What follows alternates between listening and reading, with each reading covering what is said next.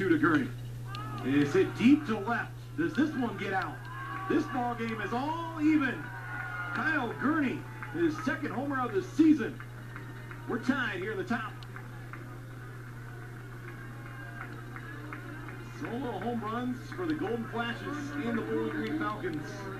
This one comes with one out.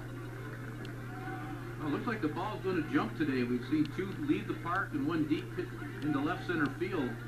But that's uh, that's just a little boost that Bowling Green needs. And as I mentioned, you see nice, puts a nice swing that got that fastball right around thigh high.